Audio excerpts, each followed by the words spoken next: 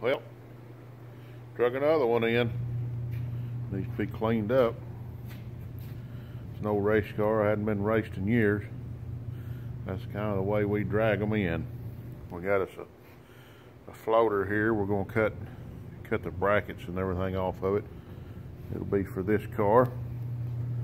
This has got a real good cage in it. The cage is is really good in it. It says it's got a standard rear end under it.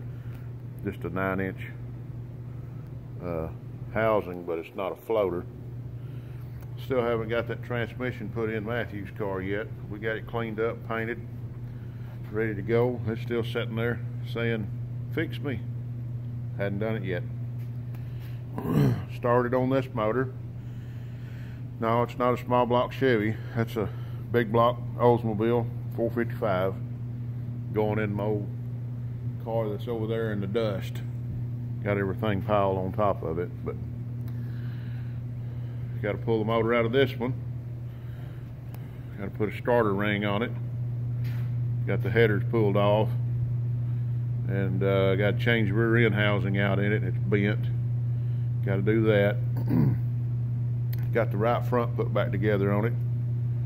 So, uh, got a lot of work to do. Just been busy here lately. As you can see, dragging in more race cars. but, uh, we got a lot of work to do before March comes around here, April, whenever the racing season hits. But uh, we're going to have one of these going, if not two. I've I've got the makings of a motor for this one. Just got to get it there. This looks pretty pretty rough, but it's not as far out as you'd think. So just got to do a few little upgrades. Matthew's got that one looking real good. Just need to get some lettering on it. It'd look real good then. But uh, he's got the body shaped out, looking good.